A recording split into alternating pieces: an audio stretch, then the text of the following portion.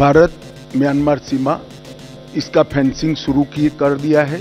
30 kilometre fencing समाप्त हो चुका है। स्ट्रेटेजिक जगहों पर सीआरपीएफ को सफलतापूर्वक लॉन्च करने का कार्यक्रम भी समाप्त कर दिया है। हमने जो घुसपैठ होती थी, उसको रोकने के लिए म्यांमार और भारत के बीच में जो आवाजाही का एक समझौता था, उसको भारत की ओर से रद्द कर कर सिर्फ़ वीज़ा के बेस पर ही आ जा सकेंगे ये कानून भी लाए हैं। कई सारे सुरक्षा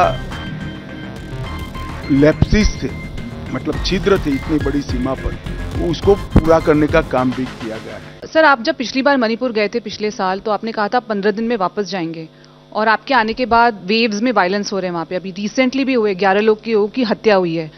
तो इसको लेके क्या आप आ, मतलब वहाँ पे एक रूमर भी चल रहा था कि चीफ मिनिस्टर को रिजाइन करने बोला है। उसको ले उसके बाद गवर्नर के घर पे कहा आपको चीफ मिनिस्टर मैं रूमर बोला इसलिए सर और वहाँ पे गवर्नर हाउस में भी काफ़ी पथराव हुआ जो हम कहीं और नहीं देखते हैं किसी देश के किसी हिस्से में। तो मणिपुर के लिए क्या स्ट्रैटेजी है हंड्रेड डेज़ में? देखिए जहाँ तक मणिपुर का सवाल है सौ दिन में हमने जो ये घटनाओं का मूल है भारत म्यांमार सीमा इसका फेंसिंग शुरू की कर दिया है।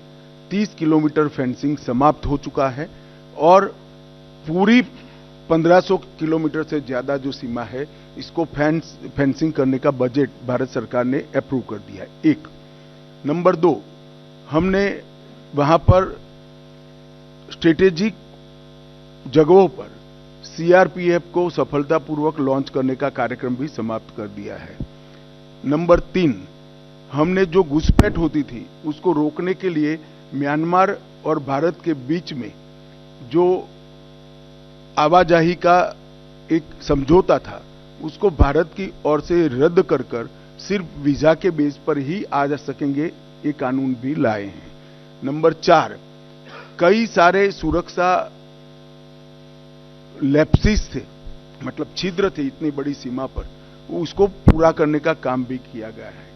अभी हाल ही के दिन में दो घटनाएँ, तीन तीन दिन तक हिंसक घटनाएँ हुई। इसको छोड़कर विगत तीन महीनों में कोई बड़ी घटनाएँ नहीं हुई थी।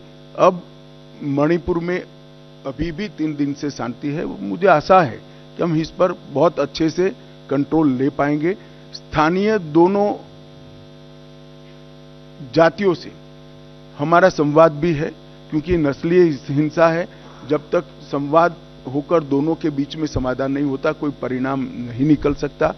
हम कुकी ग्रुप्स के भी चर्चा कर रहे हैं और मतई ग्रुप से भी चर्चा कर रहे हैं।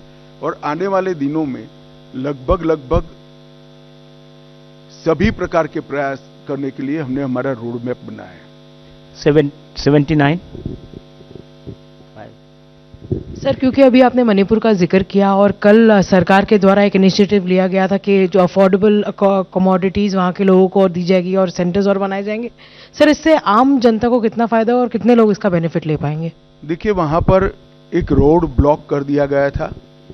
अब ब्लॉकेज जैसा कोई प्रॉब्लम नहीं है, परंतु जो बीच में घटनाएँ हुई इसके कारण ट्रांसपोर्टर भाई वहाँ से जाना मुनासिब नहीं समझते। तो हमने केंद्रीय सैनिक बलों के लिए जो हमारे राशन की दुकानें हैं 18 दुकानें नई खुली है और खोलने का निर्णय किया है और पुरानी सभी दुकानों से आम जनता को उचित दाम पर सारी चीज़ें, लगभग सौ चीज़ों का लिस्ट बनाया जिसमें टूथपेस्ट, ब्रश, साबुन, ये सारी चीज़ें भी है, खाने पीने की अमूमन सभी व्यवस्थाएँ। वो एक राहत दर पर मिलने की शुरुआत होगी। इससे निश्चित रूप से महँगाई नीचे लाने में सफलता मिलेगी। और जो गरीब तबका है, उसको राहत दर पर सारी सामग्री उपलब्ध होगी। ये सिर्फ़ गरीबों के लिए नहीं, हर नागरिक के लिए खुला रहेगा।